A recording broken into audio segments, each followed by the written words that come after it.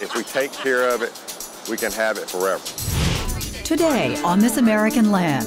Right snowshoe, right hand. No fun in the sun spring break for these students. What are they doing in the Grand Tetons? In such a short time, we bond together as a team and just as individuals. And what is killing all the frogs? Across the globe, millions of amphibians are dying. Scientists are trying to jump out in front of a deadly disease. If something is wrong with the environment, the amphibians will suffer first. And it's a thrilling ride, but are too many snowmobiles threatening the peacefulness of Yellowstone? The amount of machines and the amount of people going into the park skyrocketed. All this and more now on This American Land.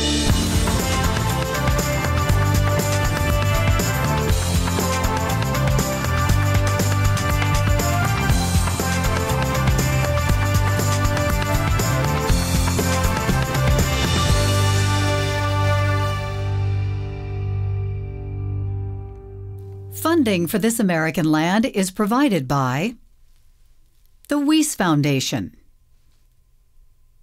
the Turner Foundation,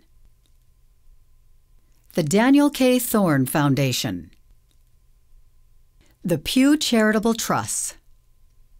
Hello, and welcome to This American Land. I'm Caroline Ravel. And I'm Bruce Burkhardt.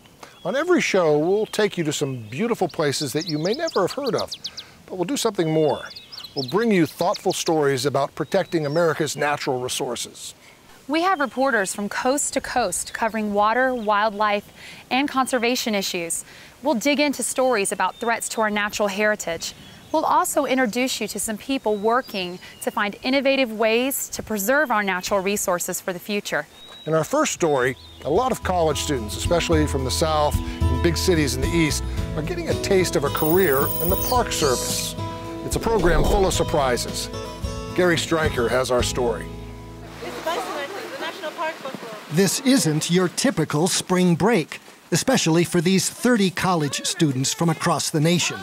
I'm from a really small town, so a lot of people back home haven't even heard of the Park Service. So it amazes me when I tell them, hey, you know, I'm coming to Wyoming, I'm going to Colorado, and they're like, why? Landing in Grand Teton National Park these students are part of the first ever National Park Service Academy, a program designed to recruit college students from diverse backgrounds to careers in national parks. Obviously, before all this, I never heard of national park systems. When I thought of a national park, I thought of Yellowstone. But I've learned that there are national parks back in Georgia, essentially everywhere in the United States.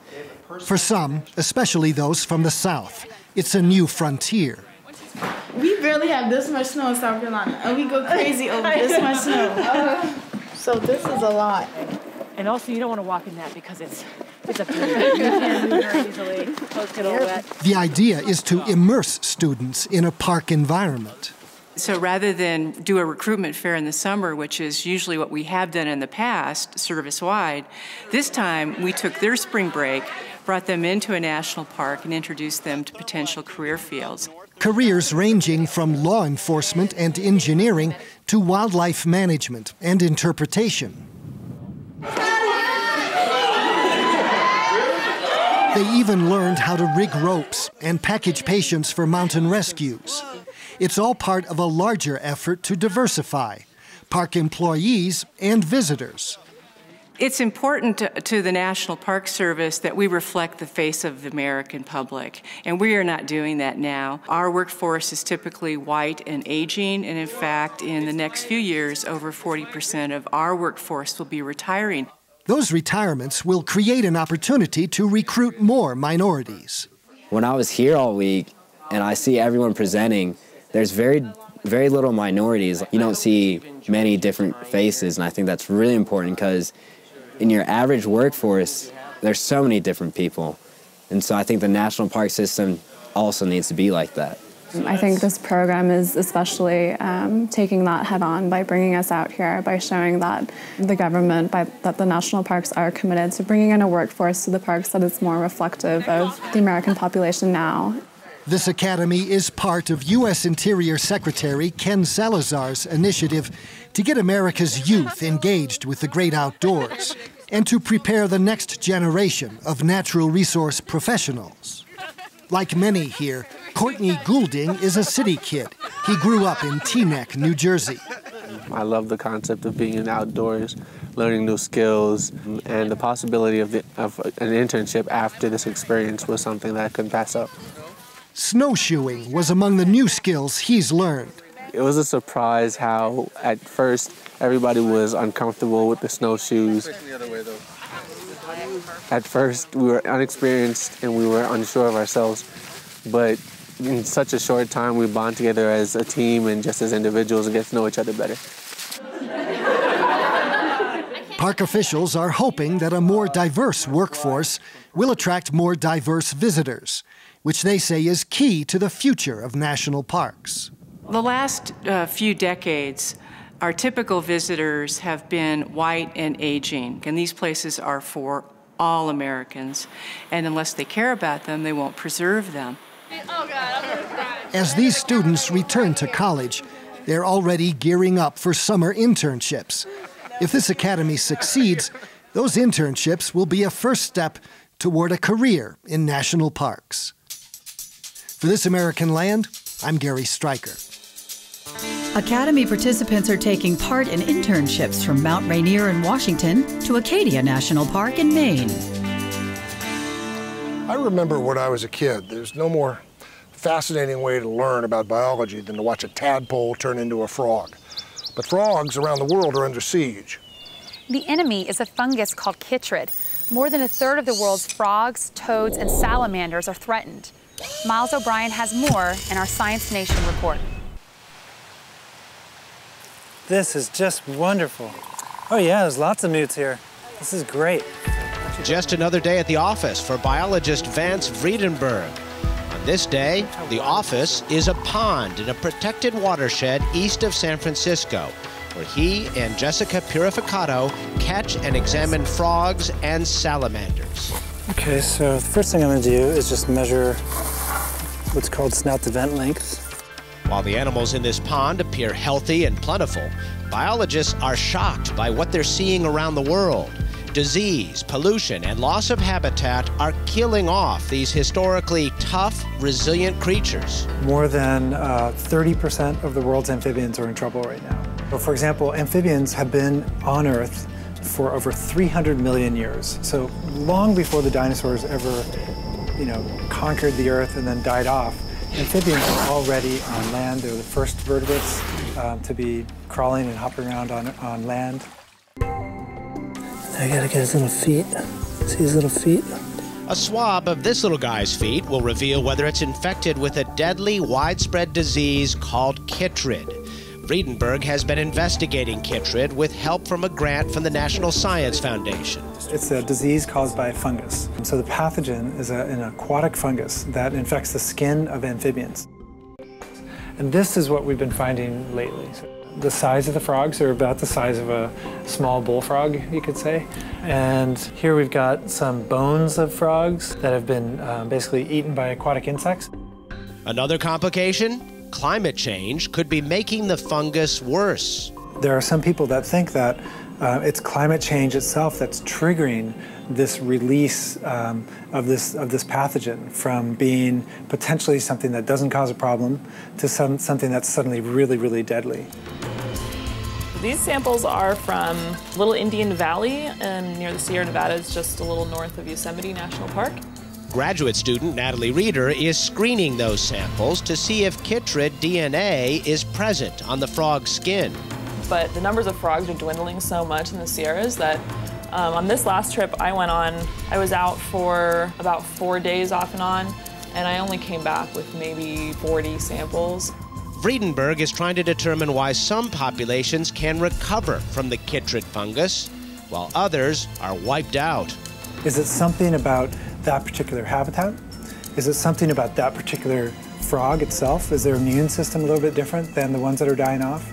Um, or is it possibly a different strain that's less deadly of the fungus? But while searching for those answers, scientists are at the same time doing whatever they can to save these animals. When these animals are dying left and right, you can only, as a um, you know, as a person who cares about these amphibians, I can only document that for so long.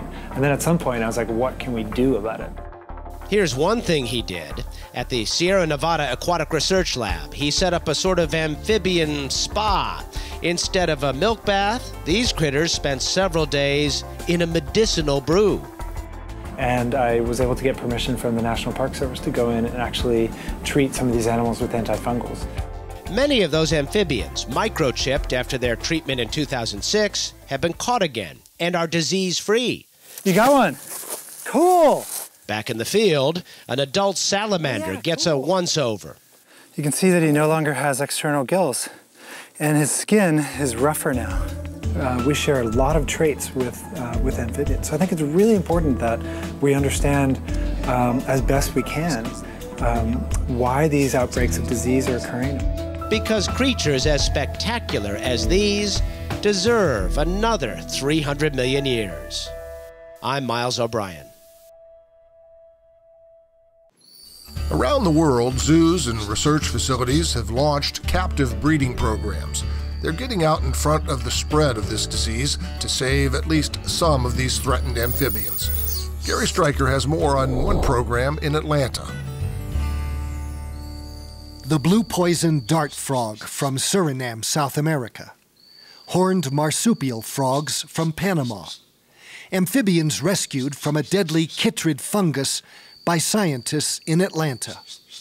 The chytrid fungus eats away keratin, a component of amphibian skin. This causes a disease named chytridiomycosis, which is fatal to adult amphibians. What we're facing is literally a situation where there's more species of endangered amphibians than there are birds and mammals combined. Amphibian chytrid fungus gets in the skin and it reduces their ability to regulate their water balance and can kill them very quickly. In 2004, Atlanta scientists were able to identify the path of the spreading fungus and realized a pristine national park in central Panama was about to get hit. We knew for the first time in history when and where the fungus was going to strike next. At the time, there wasn't a facility in Panama to do this, so the animals were brought back here to Atlanta and since then, several species have bred successfully. Craugastor punctariolus is probably among the rarest frogs in the world. Uh, these were rescued from El Valle, Panama.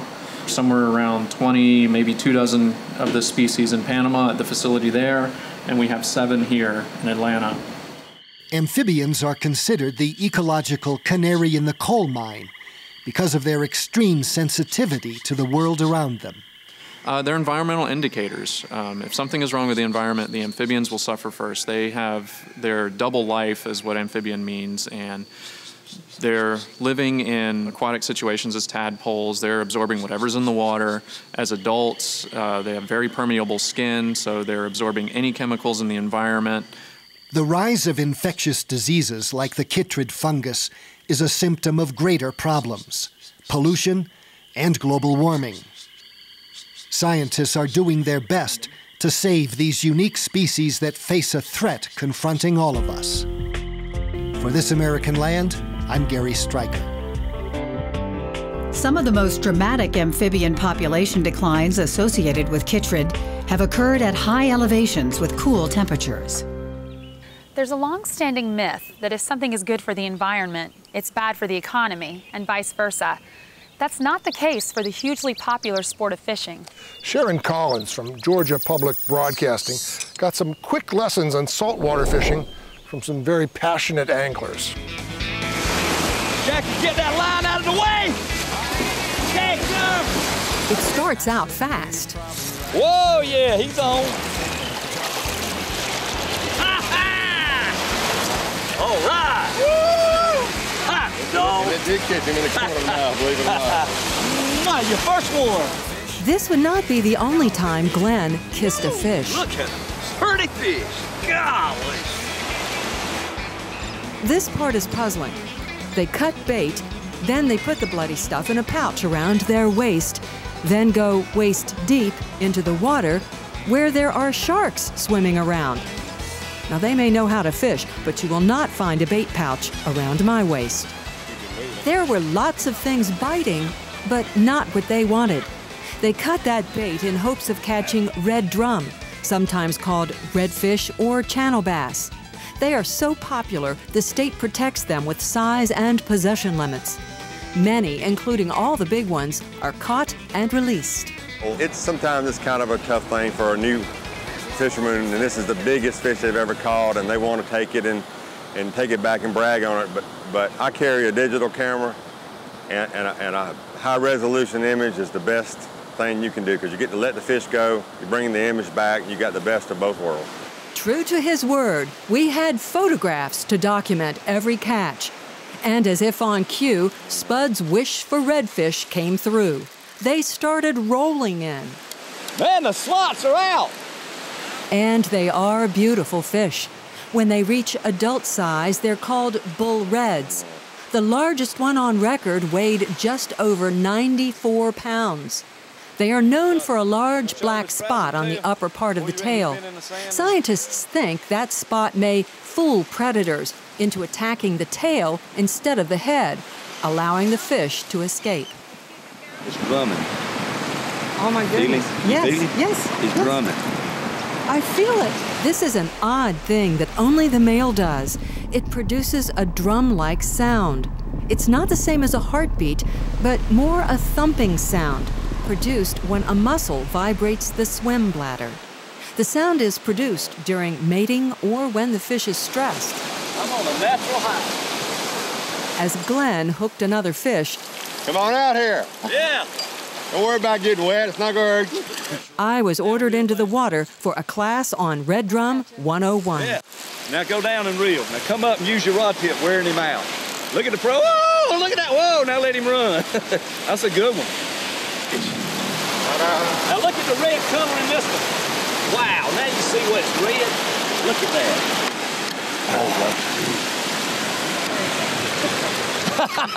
no thanks. You can, Ah, you you can can kiss, kiss kiss your hand and kiss him.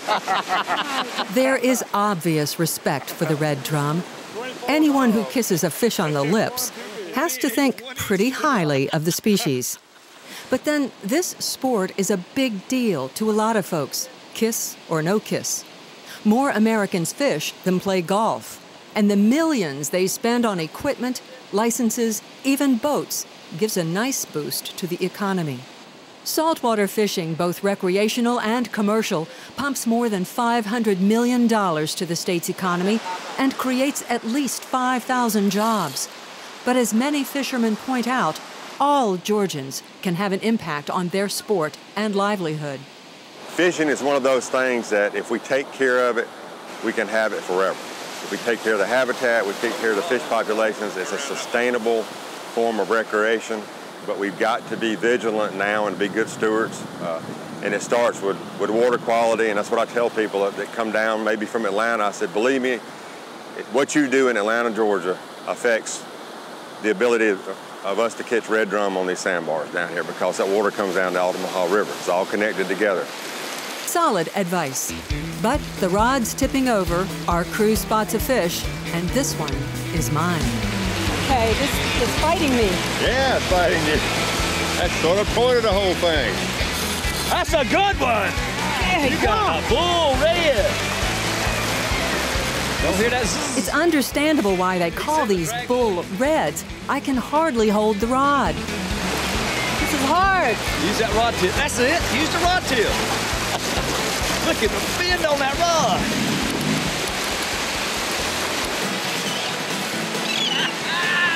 Man. Oh. Look at that. Good, dead. Look at that. Here's another important lesson. When you release a fish, you can't just take the hook out and throw him back. Hang on to the tail to make sure the fish has its equilibrium back.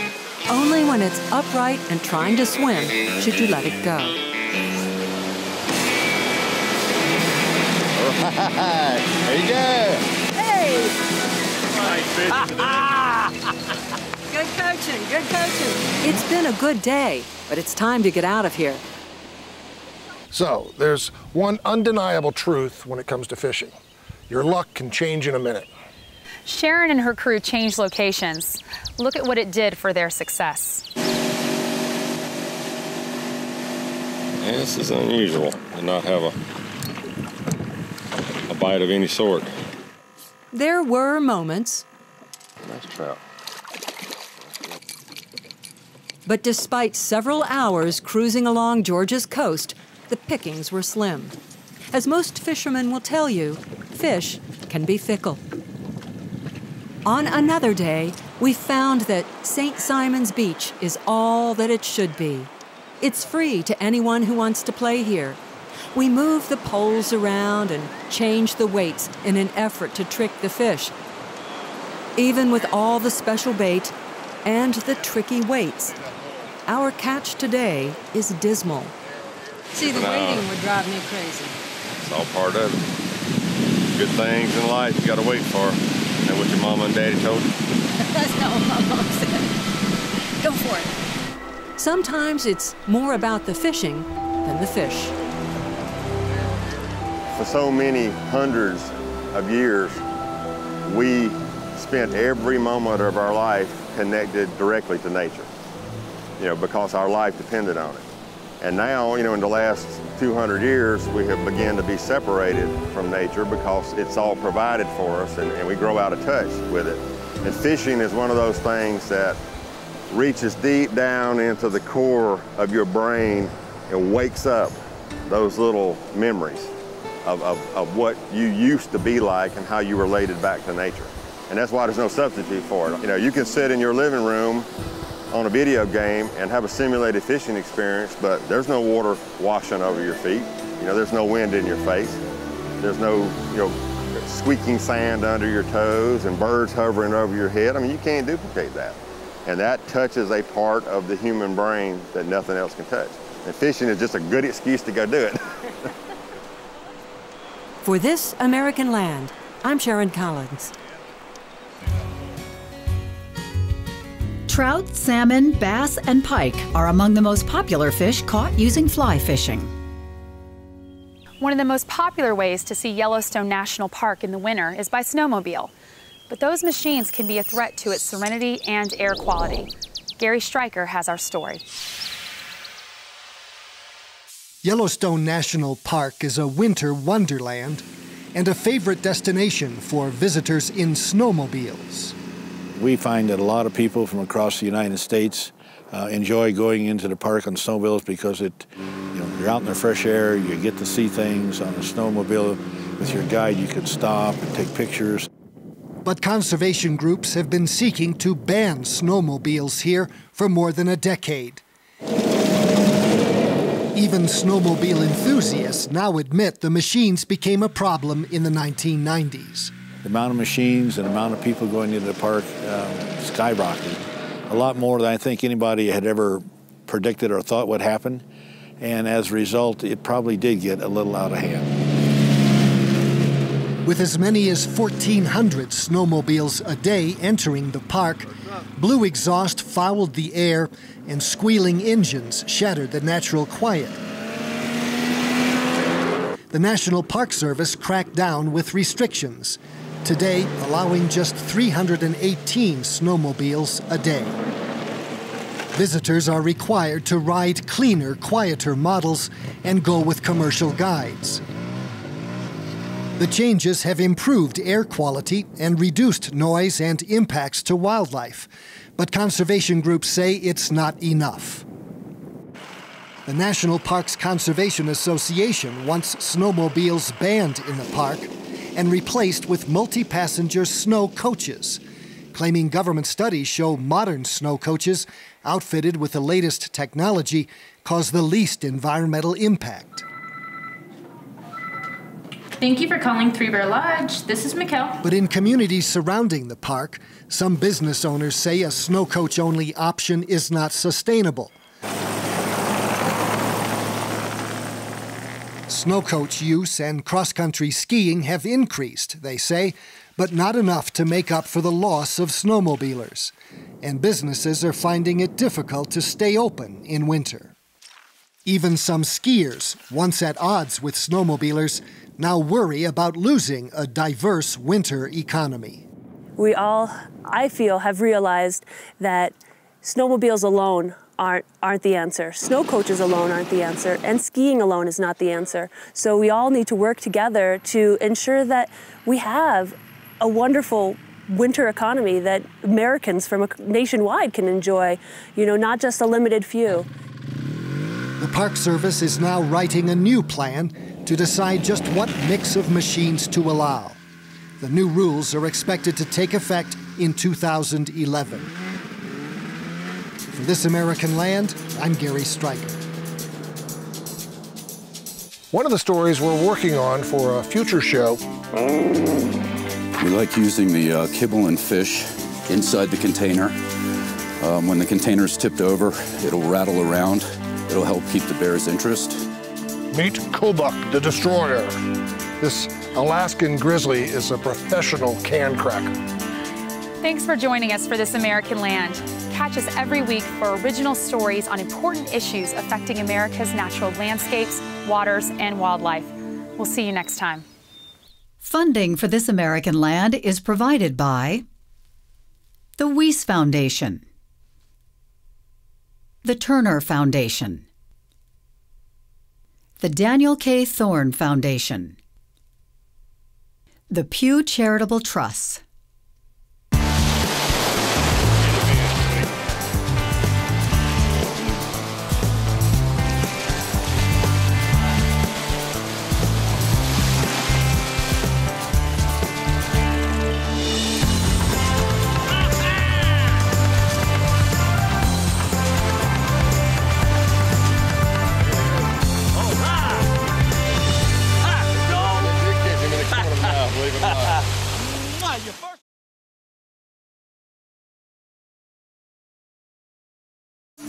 Right snowshoe, right hand. No fun in the sun spring break for these students. Across the globe, millions of amphibians are dying. But are too many snowmobiles threatening the peacefulness of Yellowstone? The amount of machines and the amount of people going into the park skyrocketed. All this and more on This American Land.